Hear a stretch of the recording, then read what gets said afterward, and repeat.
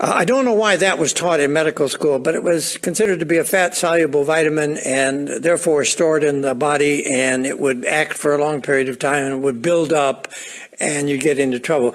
But now, in recent years, when we've had the technology to measure fat content of vitamin D, we find there's not much there. And the reason there's not much there is there's not much coming into the diet, or we are avoiding sun. So uh, we have less vitamin D, and therefore our fat tissue does too. Uh, it's not stored up there in high concentrations. You don't begin to store vitamin D in fat until you begin to build it up in the serum, and that doesn't occur until you already have relatively high 25 hydroxy D values.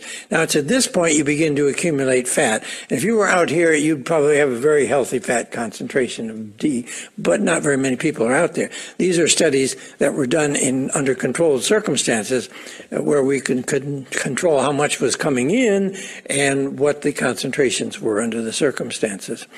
But uh, uh, the one thing students seem to recall is that fat soluble vitamins can produce intoxication, therefore, you have to be careful.